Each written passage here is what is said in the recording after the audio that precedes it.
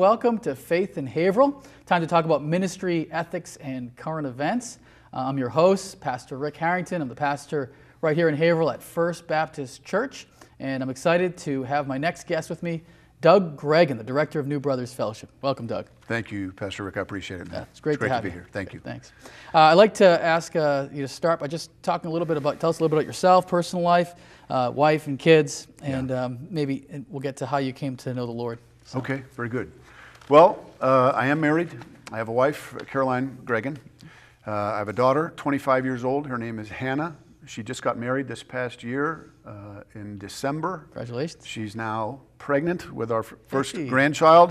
Right. So this is pretty exciting. It's this been a huge, huge year. Oh, uh, in, in, terms of life events, this is pretty big. So we've been married 27 years. We've been in ministry together full time for the past 12 years. And uh, God has been really good to us. We're really, really blessed. Um, I don't know what I don't know what you, how much you want to dig into my past. Um, I can uh, basically. Uh, I grew up in California, Southern California. I was born and raised there. Spent 20 years there. Left California to come to the East Coast as a saxophonist. I came to the Lord uh, through music, basically in kind of an odd way. Um, so, yeah, I moved to the East Coast to study saxophone with someone privately here. My life basically kind of plummeted into uh, what I now call poverty of spirit. You know, blessed mm-hmm. are the poor in spirit, for theirs is the kingdom. So, my entry point to the kingdom was through that, that experience of coming out here, having no one, having nothing, and realizing that music wasn't going to get it done in terms of what I really needed in my life and my heart, you know. Do you still play the saxophone? Oh, yeah. Okay. Yeah, I've been playing for over 35 years, um, and I love it. Every now and then I get a gig at Cafe Di Siena in Newburyport. Okay. I played there twice now. Excellent. so mostly jazz? It's jazz, straight yes, ahead, yes. yeah, Excellent. that kind of thing. Good. So, um, Doug, did you grow up in a Christian home or a nominal Christian home? or? No, I grew up in a, in a non Christian home. My, my mother, very early on, rejected her faith. She grew up in a, in, in a you know, a Christian faith, a fundamental Christian faith. My father had nothing, uh, a Catholic mother, a father who just rejected God. So by the time I was three or four, my mother had stopped going to church, and uh, I was raised basically as an atheist. You know, the, the my on my mother's side in particular, there's a split right down the middle. Some half Christian, half not, and uh, my mom joined the non-Christian side of things. So I was raised in, a, in, an, in an atheist, but I, basically what I call an atheist environment. Um, very, uh, we had no problem mocking my cousins, mocking Christians, you know, it was just kind of common. So it was an interesting, it was very interesting to have God confront that. Mm-hmm. Um, I was thankful that he, that he did, though, you know, it was good. Okay. And when did that happen? When you, when you moved from SoCal out here, you were a Christian at the time, or you were still? I was not. You were not. I was not. so not something happened while you were here. Can you, can you give us the story of what yeah, happened? man. so the way I tell it is, you know, when you're in prison ministry, you're dealing with guys who lose everything all, all day long. Everyone you talk to, I've lost everything. And they really have. I mean, it's literal. So, but poverty of spirit comes in a lot of different ways. And for me, the way it came was through God giving me everything I wanted. I started playing saxophone in seventh grade. I just accelerated in, on that instrument. It really was a good fit for me. By the time I was in my second year, uh, third year of college, um, I was extremely proficient playing in big bands, Playboy Jazz Festival. Uh, you know, it was a it was it was a great life. It's what I wanted, and so here I am. I'm on this trajectory to to be a professional saxophonist, and I show up on the East Coast. And like I said, the way I describe it is God got me poor by giving me everything I wanted, and said, "Now, how, how's it feel? You know, how you doing?" And you realize this isn't, you know, these, I'm studying with a, you know, a, a prominent East Coast saxophone player. I go to these lessons. I feel miserable when I leave. I don't want to practice. Everything was just falling apart. I'm hanging out with crazy people. I'm drinking more than I've ever, you know, I didn't drink a lot in my life, but for the, one, on that early days in Boston, I, I was drinking. And so it's like, there's something seriously wrong here. So that journey kind of, my, my wife played a big part in the culmination of this. Mm-hmm where um, I'll try to keep it short, but the, the, the, short version is she wrote me a letter and said, You know, I'm telling her, I'm lonely out here. You know, I want you to come and be with me. You know, I feel so sad.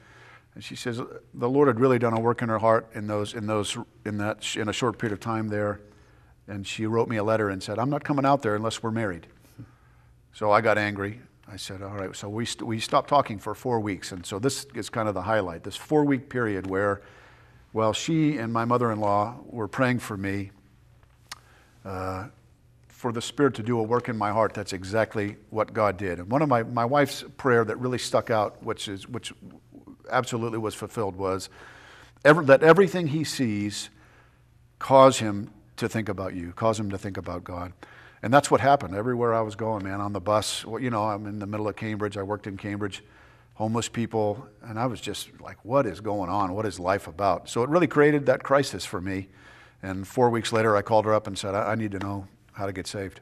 So, you know, she was raised a Christian, missionary parents, and so that's how that kind of came to a head. 22 years old, got born again. Wow.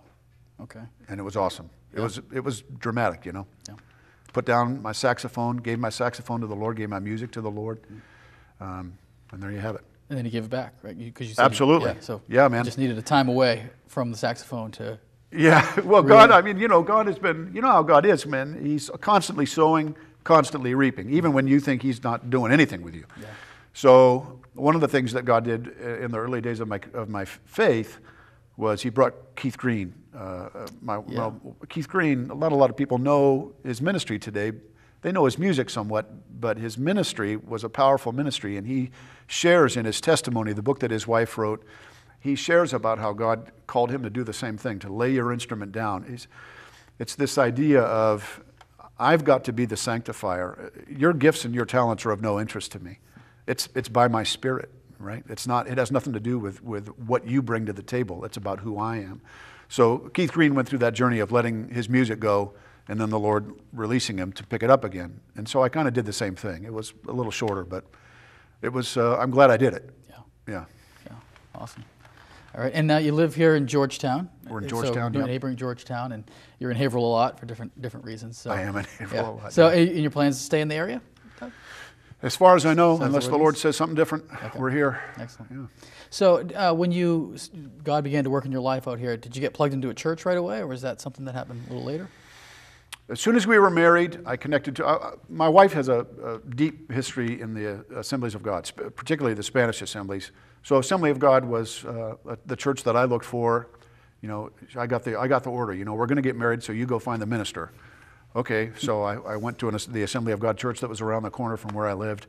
Uh, that didn't he didn't end up conducting our service, but Assemblies of God was what I was looking for. So we started there in the North End. We lived in the North End when we first got married. Okay. Um, we went there for about a year, and then God just began to do uh, some some leading, bringing us into different relationships, and we ended up at what was a very independent and charismatic church, um, or what most people would consider very charismatic.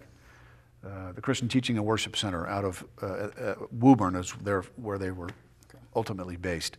Um, and what a great! I'll tell you, it was a it was an excellent fit for us at the time. For the season we were there, it was an excellent. Uh, the the pastor there was a professional, uh, former professional violinist. So from a worship, you know, learning how to worship, learning how to worship on your instrument, all that that meant. I became a worship leader, so I lead worship, play key, keyboard, and so forth. So all that experience was was huge in terms of kind of forming things in me about what God would do later in my ministry. Okay. Yeah. Awesome. And now that you're here, you go to is it New Life Christian Assembly? Is that where you go now to church? We're, we're uh, New Life Christian Assembly is, is I'll say that Pastor Rick is my, my covering, my pastoral covering. Okay. So we're not there at New Life as often as we'd like to be, Oh, okay. but yeah, that's, that, I would consider that my home church. Okay. And so, um, Assemblies of God, for those who may not know and that are listening and watching, um, is a Pentecostal and is charismatic. Uh, explain what that means to folks. Maybe my guess is a lot of folks listening maybe have a uh, Roman Catholic background, perhaps, or uh, what is a Pentecostal charismatic? What would be the distinctives there, Doug, just so to give them a sense? All right. well, I'll give you the, for me, the, the fundamental doctrines that stand out in a Pentecostal or an Assembly of God environment are the, the f- firm belief and, and the, re- the, the realization of the gifts of the Spirit that are, that are given in Scripture. F- 1 Corinthians 12, 1 Corinthians 14. Those things are gifts given by the Spirit The assemblies, of course, believe in uh, a baptism of the Holy Spirit. That second, uh, you know, there's different language that you can use there, but that second experience with the Holy Spirit where Christ says, I'm going to baptize you with fire and the Holy Spirit. Uh, so that's foundational. The baptism of the Holy Spirit, the assemblies of God believe in the evidence of speaking in tongues. So there's uh, the use of tongues in, in a personal way, there's use of tongues in a corporate way, right? So the, obviously there's order to that. And that's where I would find myself probably varying, if, uh, distinguishing myself from a charismatic point of view would be along the lines of order. Um, I'm, I'm, a pretty firm believer in the order of the gifts of the Holy Spirit. So, prophecy, speaking in tongues, interpretation, those things should be done in order. They're for the body. I absolutely, man, I, I, I love the fact that uh, the assemblies hold that, and I hold that personally, um, but there should be order, you know. Okay, excellent. Yeah. And one thing I've noticed, uh, Doug, just kind of following you a little bit on Facebook and, and, and things, there's a real emphasis in your ministry um, on holiness. Uh, would you say that's true? Absolutely. Pursuit of holiness. Yeah. Uh, where does that emphasis uh, come for from, from you? Why, that's a, that strong emphasis on the pursuit of holiness. And we'll talk about your ministry, of course, and how that yeah. relates to there. But well, I would answer that. I could tie that into um, I could tie that into the ministry by saying a lot of, I've never been in prison, right? So I'm in full time prison ministry. I've been in prison ministry for 12 years. You say, well, why are you in prison ministry? Um, it's not because I'm an, I'm, I'm, an evangelist by nature. I'm really not. I, my heart for the men and the women that we serve is spiritual maturity, Christian maturity. That's, that's, that is what I'm passionate about, both myself and my wife.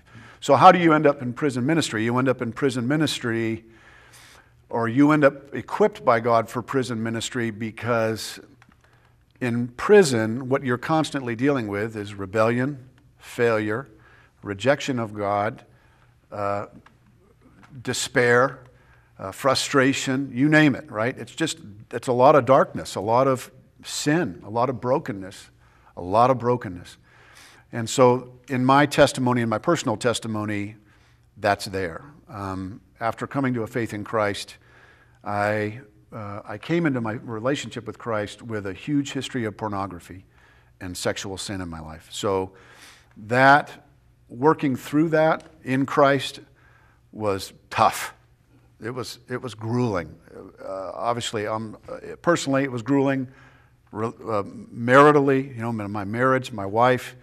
I mean, you know, my wife and I came to a point where uh, she just, uh, the only reason I mention this is because she recently recounted it to someone that she was ministering to was you reach a point where you're like, Am I even, was I ever even saved? You know, did I even know who Christ was?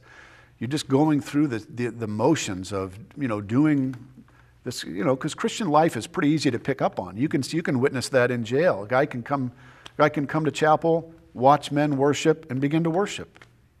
It's pretty easy to do. You pick up the language, you pick up the, the, the motions, the gestures, you know, all of that stuff. Uh, but what is, is, who is Christ to you? That's the reality. So, Christ, working through who Christ is, humbling, breaking through. i am I'm such a rebellious man, Rick. I don't have time to tell you of how rebellious I have been in my Christian life, particularly in that area of lust and sexual sin. So, um, so now being now being delivered from that, being free of that, continuing to walk and pursue God and, and asking Him and, and really constantly asking the Holy Spirit to, to deal with my heart. Um, that's where you're finding that language, that, that, that focus of um, Christ died, right? In, in uh, Romans 5 21 says that. Uh, um, Oh, no, no, I'm, I'm quoting, I'm trying to quote scripture on, on television. It, it talks about sin, just as sin reigned unto death, so grace reigns through righteousness. Mm-hmm. And to me, that's the key. Grace, grace, by grace are you saved through faith, right? But for what purpose? For what end? Grace reigns through righteousness. And it's that, that's where you want peace, right? Is your, is your life falling apart? Are you an addict? Are you in despair? Are you desperate? Righteousness is the answer to that. It's found in Christ. His imputed righteousness, the righteousness that He gives freely by grace. But, but you are called to be in agreement with righteousness, right? So that's, that's uh, one of the things I minister all the time is that, is are you in agreement with the work of the Holy Spirit, which is to form Christ in you? That's a, that's a big part of my and our ministry. You know, I'm thinking, uh, Doug, as people listening to you, I'm sure there's a lot of guys uh, thinking, wow, first of all, minister just talked about his own struggles, sexual, you know, with pornography. Yeah. And a lot of guys are probably thinking, how refreshing to know, to see that type of honesty, that transparency.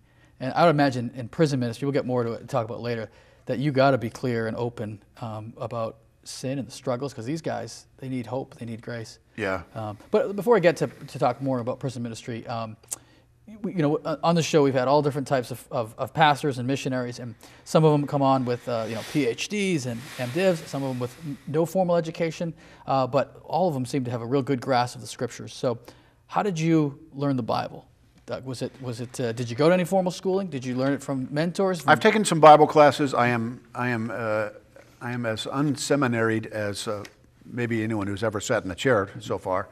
Um, so I'm definitely uh, uh, what most people would call a lay minister. I'm a, I'm a reverend, you know, through the assemblies, through a local commission. But, but outside of that, everything, my knowledge of the scripture, my knowledge of the word has come through that pressing in. Now, when I got saved, God did a wonderful work in my life by giving me a hunger for the word. That was definitely a work that He did. So I would, I was constantly, I had this little pocket Bible I got from my mother-in-law, and I was just in it all the time, underlining, reading, soaking it in. And then another thing that happened that, I, that stands out for me in terms of answering that question is there was a minister, uh, Roland Kimball. He was a minister in the assemblies. He ministered out of uh, New Hampshire. He ended up at our home church of Exeter Assembly of God, where I spent a lot of time. I spent over seven years there. Um, and Roland Kimball was a guy who, he was a, an older man. Man, he knew the word inside and out. And his ministry, when he would minister from the pulpit, that was his ministry, just the word leading to the word, leading to the word. He just constantly ministered that way. So I'll, I'll never, there was a, a, particular day he was ministering, and I was just blown over listening to this guy preach the word with the word. And I prayed and I asked God, I said, Lord, I, I want to do that. So I've been taking the word in, and, you know, by the mercy of God, as it is for everybody, obviously, but um, it just has been coming out ever since. So, I think God is still fulfilling that prayer, but uh, I feel like in, in some ways He has fulfilled it. So that, that's, it's just that, just that understanding that I can't live without this. You know, man lives not by bread alone. Every word that proceeds out of his mouth, and in, certainly in my battle against sin, um, man, I, I, I, can't do without the word. I, that, that's it. And that's, that's, that's huge in, in the ministry of New Brothers. You know, if you, if you come to, you know, we're not talking about it yet, but if you come on Thursday to a New Brothers meeting, you're, get, you're getting that all the time. Are you in the Word of God? So good. Yeah. Uh, I read that uh, you sort of got your, your, your, your feet in the door of prison ministry working with uh, Chaplain Ray. That's right. Yeah, tell us about tell us about that. Some folks might be familiar with with Ray. Well, Ray Perez is yeah. definitely uh, he's still a presence in the community, and he's been gone for ten years, I think now. Uh, so he was quite a character, you know, quite a presence, a very, very present man, uh, charismatic man. Um, yeah, what a gift that was that God brought me to him. I got laid off from Verizon in 2003. Uh, I had no idea what I was going to do, but at that time I did offer him. I, I, just told God, I said, All right, here I am. I got no job. I'll do whatever you want. I had a worship band at the time. We were, I was looking for opportunities to worship, and so uh, a friend recommended that I connect to Ray. And so we ended up ministering at the, the Lawrence Correctional Alternative Center, that the pre-release uh, the smaller jail, Lawrence. Sometimes called the farm. Called the farm, yeah. yeah.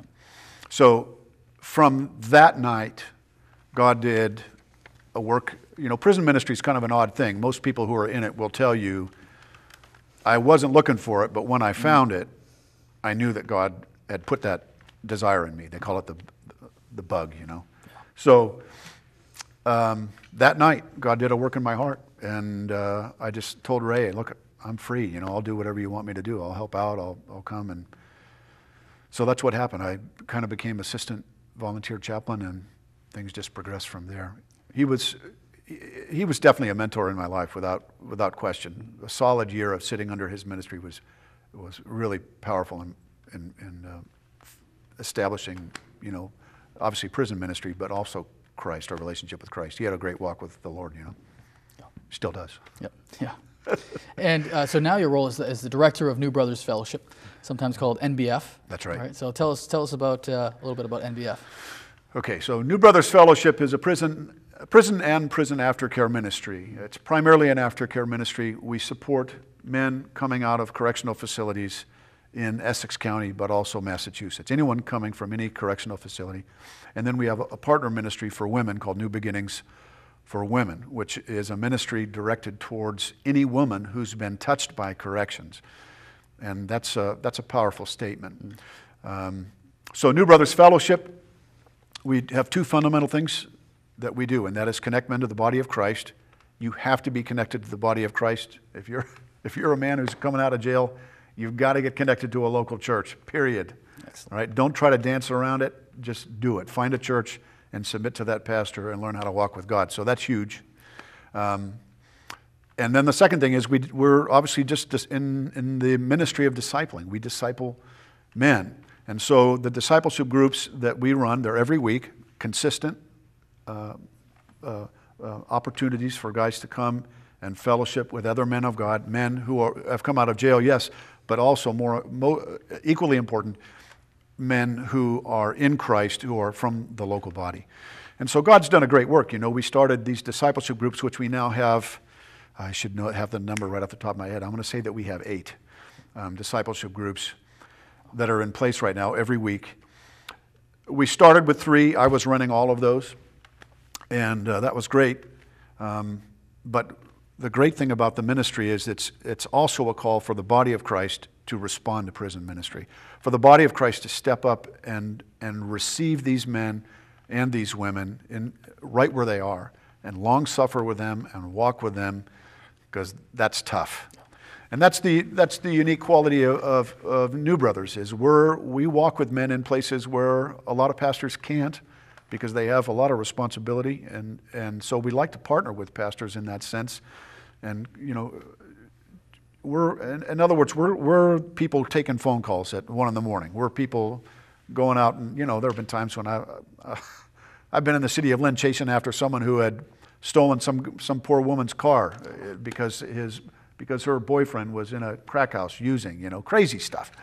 So I try not to do that anymore. But nonetheless, the ministry kind of takes that, that quality. We're, we're committed to these men and these women in places where, um, where sometimes they're not receiving anything else. And that's a powerful thing, man. These guys, they, they know we're committed to them. And that's the work of God, in, not only in us, in Caroline and myself as the directors, but um, and the volunteers that we serve. Just amazing people who really love the guys that they serve, the women they serve, you know? Yeah, yeah. One of the, the branches, um, it meets at First Baptist, the right. church I'm pastoring at. And it's just like you said, you get in getting the body of Christ involved because it's led by a guy who's a member at First Baptist, who is actually um, kind of training up a guy who was another member, a newer member there. Right. So you can kind of see the, like you're saying, that the, the, the involvement of the local church and that connection um, you know, I think you're right, Doug, that it's so easy to kind of look at it as a sep- something separate from the local church when you have already this, the, the built-in, God-ordained ministry right there for them, which is the body of Christ, which has right. all that diversity that it needs. Yeah. Tell us a little bit. You, you had mentioned that uh, on the, the women's ministry of it, uh, that has been touched by the correctional um, institution. Explain that, what that means. Okay. So um, obviously, there are women coming out of correctional facilities in, in the region for the most part, we haven't. We've made, uh, we've made attempts at connecting with those women, and at this point, the ministry is not reaching them for whatever reason. So the women that, that my wife, that Caroline is ministering to frequently, uh, for the group that we have right now, the core group we have is in Haverhill. Uh, we meet up at the Assembly of God Church, you know, Rick's Church in, uh, on Main Street. That ministry is attended by women uh, who have husbands who are in jail, boyfriends who are in jail, or guys who are out of jail and either, you know in relationship with me or new brothers or have or are just struggling and out you know doing their own thing and they're just alone you know so the stories look different but when you say touched by corrections there are women sitting in churches everywhere in your church i guarantee you there are women in your church every sunday that you don't know have either someone in their family in their uh, relationally incarcerated it's, it's a huge problem. And there's such shame. You know, when you're, these, these women, uh, you know, I, I, uh, Caroline tells this story often about uh, women who, you know, you want to, you know, if, if the Lord's moving in a particular service, let's say you're, you're at, a, at, a, at a church and there's an altar call for prayer. You know, why don't you come up? Let's, we want to pray for you. As soon as that woman gets out of her chair, if her husband's in jail, every the, the thought that going through her head is, I know everyone's thinking, you know, oh, you know, he's screwing up again. You know, it's that whole idea, such a shame-based uh, uh, oppression. And it's not necessarily true, but that's certainly how we feel. And then you find, unfortunately, that there are congregations and are places where, for whatever reason, man, they're not equipped to minister to that population. And so what happens is now you're hurting people, and that's tragic, very frustrating. You know, you had mentioned the aftercare. Um, um, so after guys, you, you, know, part of the ministry has been in the past. We'll talk more about it. Is going into the prisons, but that aftercare when guys get out, um, you know, former inmates come out. Um, that's a crucial time. Right. Um, and, and I've, I've, heard from, from a lot of New Brothers folks. Why is that such a crucial time? That the, the, the, the months, the weeks and months after they get out. There's a couple different factors. The the to simplify, one is because a man who's been incarcerated has lost everything, the first order of business is you, you got to start getting things back. And that's high pressure. Because you can't engage in the world without some fundamental things. You can't, if you don't have an ID, you can't apply for a job. You can't, you know, you can't, there's different transactions you can't um, fulfill and so forth. So, identification, transportation, uh, medical care, you name it, man. There's all these pressures. And then you've got, if, you, if you're on parole, you're on probation. Now you've got someone who's checking up on you, giving you urines. Uh, some many men are countless men are mandated with all a, a litany of programming. You know, you got to be here on this day, you got to be here on that day. Here's your your urine color. It's it's a madhouse. I mean, these guys are up against it. I'm not telling you the these men coming out of jail, whether they're Christians or not, they got to jump through a lot of hoops. It's tough. And so then you add that spiritual component, which is most of these guys, many of them have, have never been a Christian before, or they've never really engaged with the body of Christ. So there's a lot of trepidation, a lot of unknown. Or they've been to jail many times or multiple times as Christians, and now they're coming out again, and it's like, am I gonna, is this going to work this time? Am I going to, am I going to succeed? Am I going to end up here again? So regardless of how you're coming out, that's a lot of weight right? Am I going to be able to stay with Christ? Am I going to be able to stay close and, and find victory, walk in victory? So it, it's, uh, it's very difficult, a lot of pressure. And so, yeah, obviously, the ministry's goal is eh, find us, you know, connect to us. Um, and so it, it, it's, it's, it's vital. I hope that answered your question. Does, yeah, definitely. And I've, you know, I've heard that the temptation too, Doug, of going back to those old friends, going back to that old life that you went into beforehand. It's just right there in front of you. And as if the decision, you know, is right there. Do I go back to this life, go back to drugs, go back to the same group of friends that were I was getting in trouble with before, or do I keep going in this new direction? And that, that those first few months are going to be crucial and kind of decide. I mean, it's going to be an ongoing struggle, but those first few months are going to be particularly crucial, I think, for someone who comes out. Absolutely. Yeah. And depending on where you are in your relationship with the Lord and how mature you are, uh, certainly first time believers, guys who have received Christ inside, um, that first time out, man, they're really up against that particular issue, that idea of that, that, that issue of temptation. Because really, all you know, the only person, the only Christian you know is the minister you've been hanging out with. So if you've been going to one or two services a week, um, and they're the only ministry you know, now you're leaving. Even if you, even if he calls, even if I call someone right out of the gate, that's not you're, you're talking about one man, one friendship, or one relationship against countless, right? And like you said, none of them are healthy. Yeah. Most of, even um, uh, a lot of guys are struggling with uh, relationships that are not healthy. You got to cut this off. This woman's, you know, I'm sorry to say it, but you know, this woman's killing you. Mm-hmm. This is not a healthy relationship. There's, there's no profit. There's no benefit to your spirit here. She needs the Lord. You need the Lord. What you need to do is settle down and learn how, you know, get, get established in your own walk with Christ. So that, that's a huge, huge battle. Mm-hmm. Doug, how many churches would you say that New Brothers is working with, the, both sides, men's and women's? Well, uh, we're probably, I mean, every, every meeting that we have, with the exception of two, with the exception of three, are, are in, are taking place in churches. Yeah. Right, so that's five right there. Um, and then obviously, relationally, we're in relationship with probably 12 or 15 different churches that we consistently relate to and communicate with. You know, we're missionaries, so our support is rooted in in the body of Christ, local you know, individuals and uh, churches who support us. Okay. So that that's a huge thing for us is that missions piece. Okay. And do you find uh, you kind of referred to a little bit that churches um, how, do, how do they do with having new brothers guys come and join them? You said some churches struggle with that. They don't they don't know how to minister to these guys. Um, so I'll give you an example. One of the one of the best comments, one of the most encouraging comments I heard at First Baptist is uh, one of the New Brothers guys said that uh, we feel is so welcomed here on Sundays. Nobody looks down at us. Nobody looks at us differently that we're part of this church. Uh, is that the norm? Have you found that churches have been very good with New Brothers, folks that are getting involved in New Brothers, or has there been a, a kind of a, learning curve there for churches? There's definitely a learning curve. Mm-hmm. The key is the key is is endurance.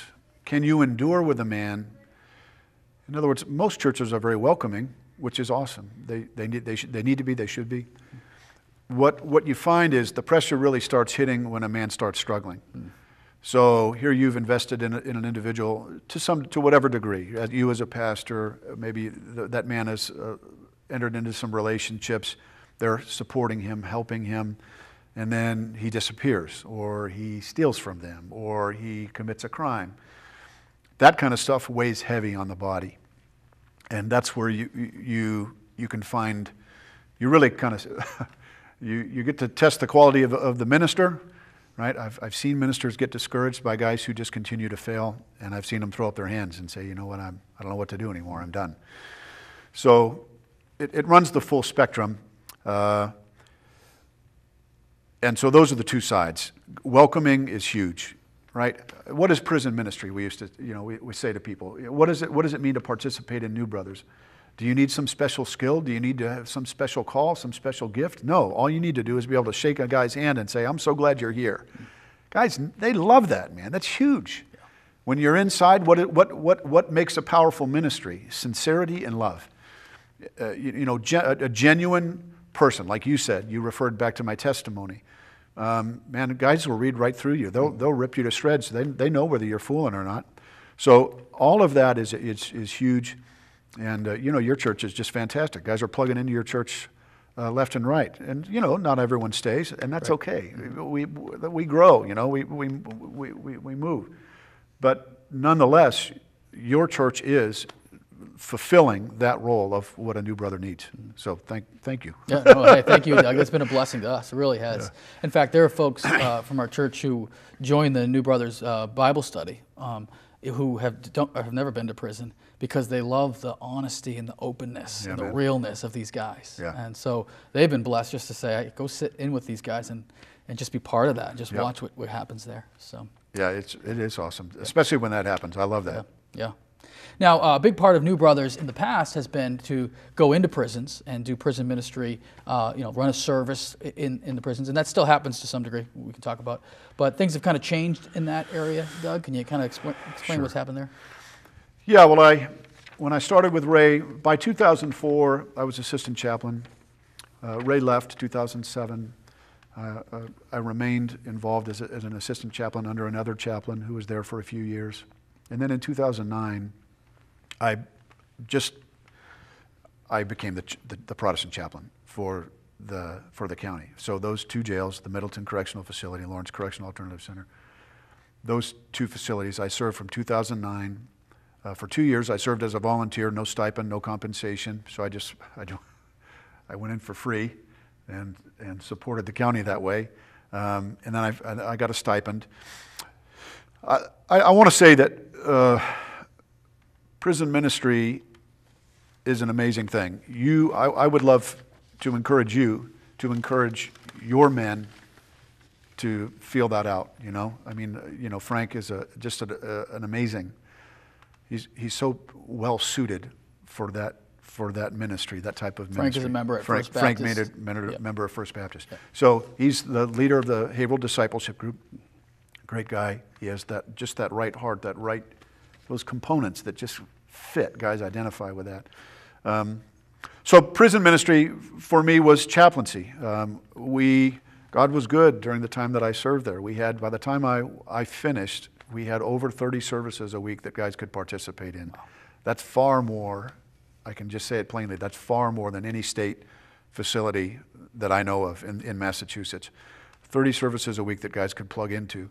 So uh, it was a huge blessing. I, um, the Lord allowed me to start uh, some discipleship ministry, kind of intensive discipleship ministry, what was uh, played a huge part in uh, maturing men and really settling men into their relationship with Christ.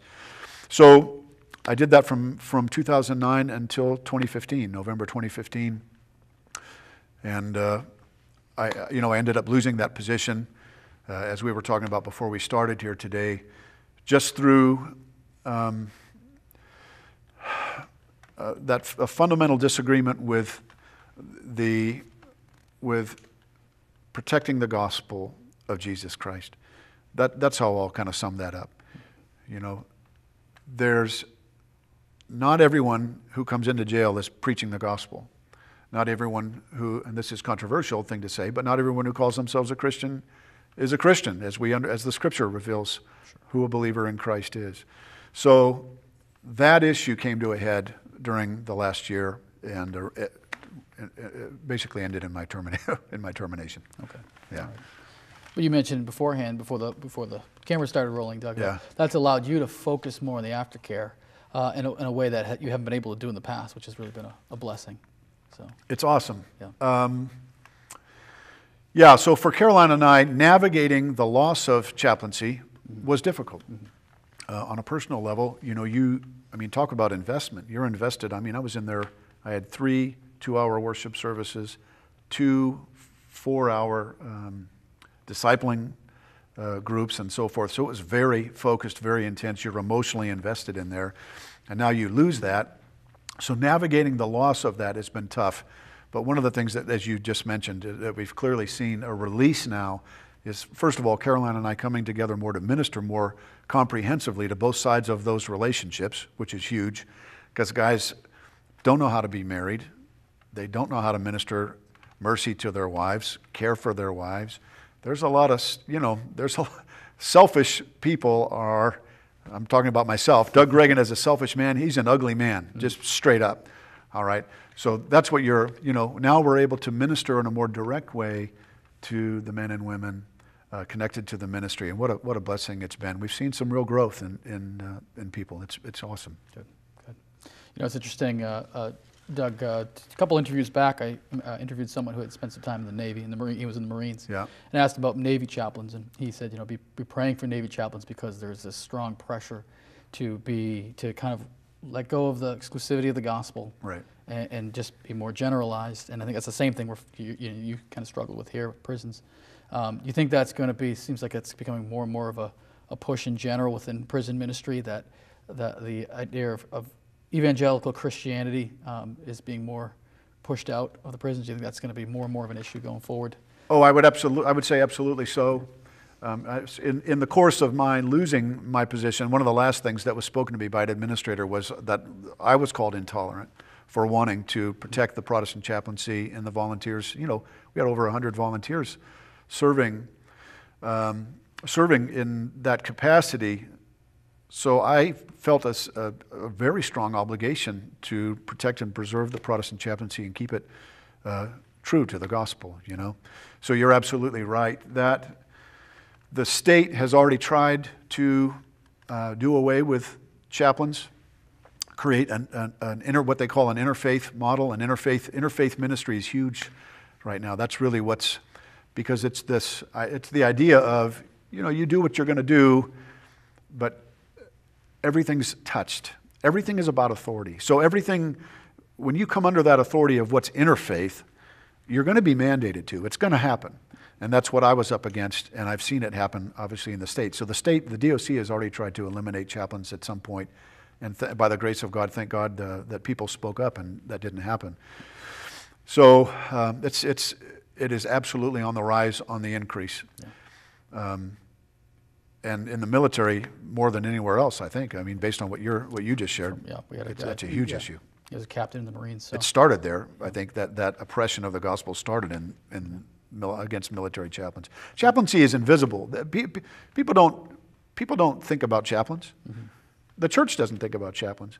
When was the last time you thought about state chaplains? You know, think about it. You, we, they're invisible men. I, I, I was thankful. I'm so thankful to have been in relationship with these guys, and I'm thankful to be able to spotlight who they are now with you. That there are just men and women pouring their lives into these men and women who are incarcerated. They're, I mean, they're just pouring themselves out. It's a powerful ministry, but it's an invisible ministry. Yeah. So thank God for those, those guys, those men and women who are serving out there. Absolutely, yeah. You know, in the off chance that someone who's involved in the correctional facility is listening, you know, I just, just want to say that uh, the effect of chaplains has, uh, who, who really preach the gospel is enormous. Yeah, and it is. Um, you know, you see lives transformed. I've watched it as a local church pastor, lives transformed from people coming from a life of crime and sin to who, who are transformed by this good news, and it's can, it can only be good uh, for, our, right. for our society. Uh, a number of questions about prison ministry. I think folks listening and viewing might uh, be interested in, in, Okay. in learning about um, Doug. So this is you know the prison, your time, you your experience that you've spent within prison, doing doing services and things like that within the prison, and the aftercare ministry. Yeah. Um, one is, uh, have you found that it's in some sense easier to minister to inmates or ex-inmates, former inmates, because you don't have to convince them that they're sinners, that they know it. The society has already labeled them. It's they've made it very clear these are derelicts. These are these are people who have caused problems. That that you know part of sharing the gospel is recognizing our own sinfulness and need of a savior. Right. Do you find in some ways that's a little easier doing prison ministry? I find that I've been surprised that it wasn't. Really? So, Okay. Interesting. Um, so again, there, there are two sides to that. You, what you're saying is true. Men, a man who's lost everything, you really see it in guys who have never been incarcerated before. Wow, you, I mean, you want to talk about whether they're young or old. You can to see a man tremble at the reality of where their choices and their sin, like you said, that's tough, man. And so there is a definitely an, an openness there. What, what you do find a lot in jail, though, is because the recidivism rate is, is high, guys become hard. It actually becomes very easy to go to jail. I, I know guys who, I know guys who will winter in jail because they're kind of, you know, they kind of live a homeless lifestyle. So you're up against all kind of crazy thinking. You know, it's, it's, it's thinking that's broken. It's not normal. And incarceration, by its nature, fosters that, right? You get used to it. You, you, it's a, you know, uh, there's a, there's, I can't think of the term right now for it, but uh, the, um, institutionalized thinking. Um, and it has different degrees. Some men are, you know, if you do a lot of years, it's tough. But if you do a lot of years in short, these are little short burst bids, the same thing happens to you.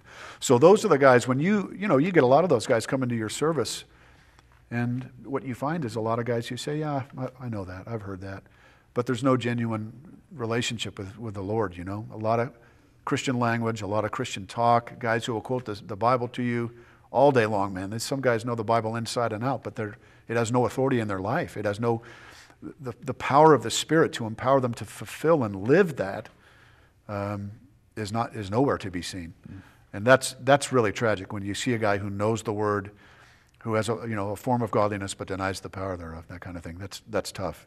So you're, you're ministering to all those different flavors in, in answer to your question. Good, good, good. Um, one question I'm sure a lot of folks uh, have, because I've heard this question in, in relation to working with uh, folks who come out of prison. Uh, what about sex offenders? What about pedophiles? Are you saying that there can be mercy for them? Oh, yeah. Amen.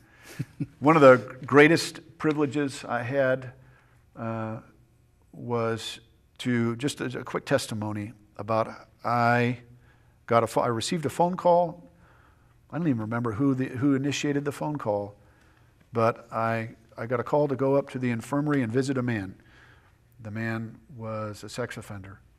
I sat down with that man. That man, as you said, was poor in spirit, man. He was broken. And we sat together for an hour, and when we were done, I led him to the Lord. And he's still incarcerated today, but he's walking strong with Christ. That is the power of God. And I know that man will, will succeed. I know that Christ will keep him because he doesn't trust in himself, he trusts in the Lord. So, um, redemption, there's nothing that the gospel can't touch, right? Yeah. You and I absolutely are, are, committed to that understanding. I'm committed to it because I've lived it. So, praise God for that. Yeah, there's mercy. Um, is, it a, is it a difficult thing? As a prison minister, it's easy to minister to those. But as a man who's been incarcerated for that, that's tough. Coming out back into society, depending on your classification, there's a lot of different subtleties to that. They have different levels of classification, um, different uh, mandates in terms of who you have to report to, et cetera, et cetera. Uh, where you can live, where you can't live. Can you live within X number of feet of a, you know, of a particular uh, type of public uh, building? Man, you, you talk about some difficult terms. One thing for an addict uh, to come out of jail, it's a whole other ballgame for a sex offender to come out of jail. It is really tough. Body of Christ, really tough. You, you want if you think it's hard to find a church where a guy can grow just coming out of normal jail terms, try to find a church where a guy can grow as a former sex offender. That's tough. Yeah. That brings me to the next question that I think oftentimes you hear, and that is what about issues of uh, safety and security? People would say, you know, as far as having guys who have who are former inmates coming to your church, uh, they're concerned about uh, the safety of the people there, safety of the kids. Um, any any word of advice to churches who are who are uh, a little hesitant? They're they're concerned about this, you know. The one of the focal points of our ministry, my ministry personally, is spiritual authority. If a man doesn't understand spiritual authority, the need to submit to the authority of Christ first, of the Word and the Holy Spirit, and of ministers or particularly pastoral authority, other ministers that God brings into that man's life, that man will not grow.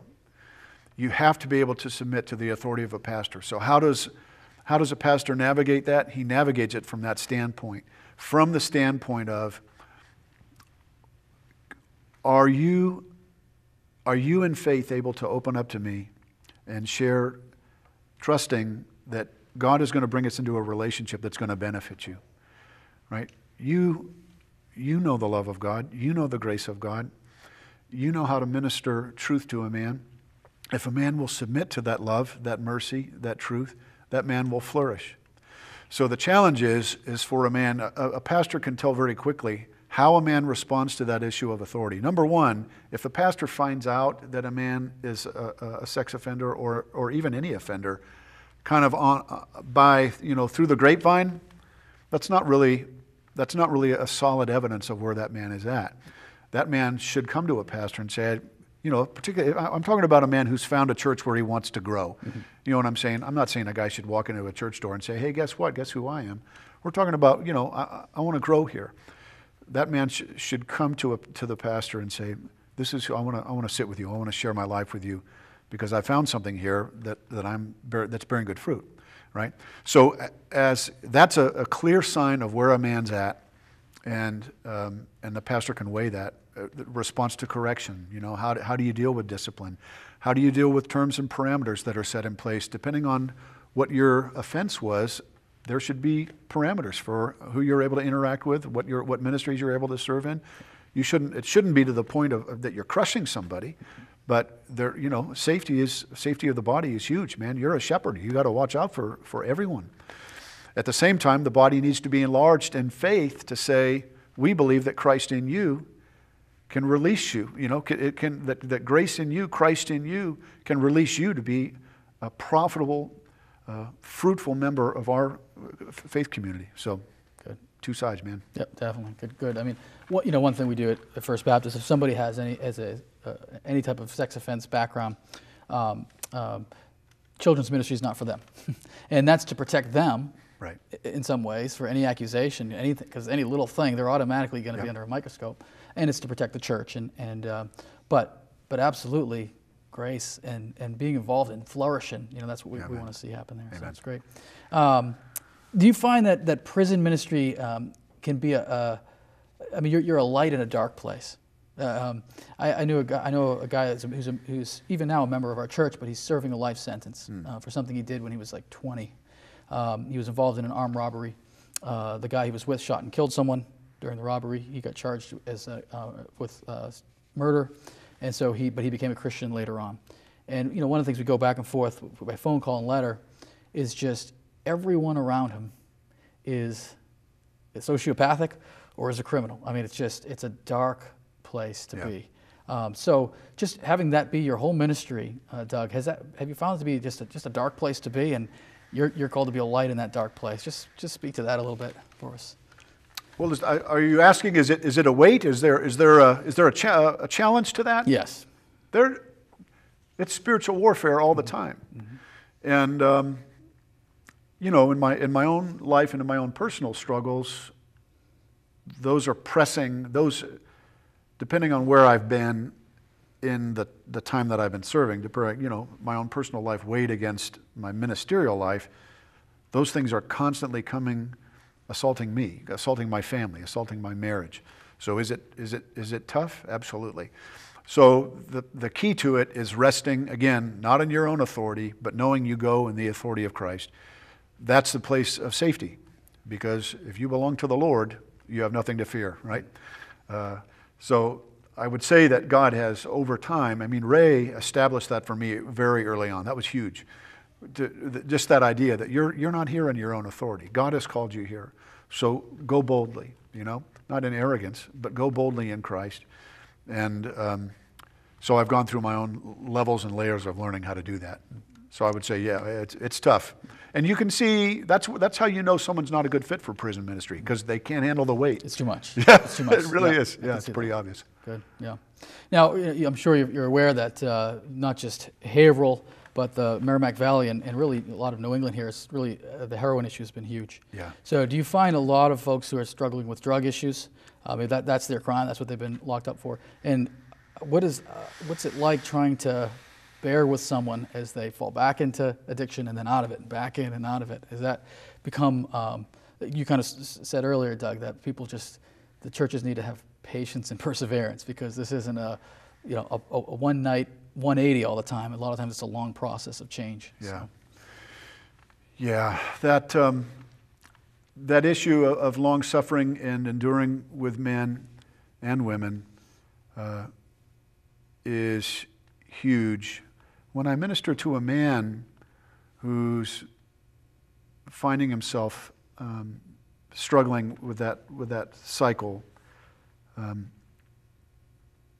the, the key is vision casting, making sure that their focus is not on their addiction. You, you can waste a lot of time getting, being focused on your failure, being focused on your addiction one of the things fundamentally that I share all the time is you, you've got your poster sins, and if you spend your life dealing with your poster sins, you're, you're going to fail. You're destined to fail. The, the scripture says, if any man is in Christ, he's a new creation. So that's, that's your focal point, right? Stay in Christ. Focus on him. Who is he? Who is the Holy Spirit? Allow the word to establish you there. So that's big. Um, I guess I'll go ahead and say also in answer to that is men in particular have to come to the place that they understand what the work of the Holy Spirit is. Romans 8:28. Everyone loves Romans 8:28. You know, um, for whom He did. Uh, I'm sorry. Uh, for we know that God works all things together for good to those that love Him that are called according to His purpose. But Romans 8:29 is, for whom He did foreknow, He predestined to be conformed to the image of His Son. That's the work that you have to be in agreement with. And the man who's struggling with that cycle has, that to me is consistently his primary battle. It's one of being in agreement with Christ's likeness. Because you because it's always about stuff, you know, well, she said that, or I got to go do this, and I lost my job, and it, it, it becomes you get bogged down and weighed down with the stuff. That's not what it's about. It's are you in agreement with the work of the Holy Spirit to form Christ in you? If you are, Christ will lead you well. The Spirit will fulfill that work. So it, it's to me, it's our ministry is, is often just about constantly redirecting men, women back to that focal point. Focus on Him. You know. I hope that makes sense. Hope I Excellent. explained No, that well. Very good. Very good. Well, what would you say, Doug, to someone who says, you know, I, I've been really wanting to get involved in prison ministry? Uh, what, what, what's the first step? Where should they go from here? Well, in, in our local community, that's tough right now because the, the jail still has not replaced Protestant chaplain. There's no Protestant chaplain in the jail right now. So I can't even direct them to a particular individual. Um, so that's difficult. I would say, talk to me. Okay, call, I- you- call you- Doug Gregan, contact right. New, New Brothers Fellowship. That's right. If you, if you are, are looking for an opportunity to serve men or, or uh, get, be in relationship and, and serve uh, and support men or women coming out of jail, please contact us. Um, you know, the, there's numerous opportunities to support those guys. Excellent. Good.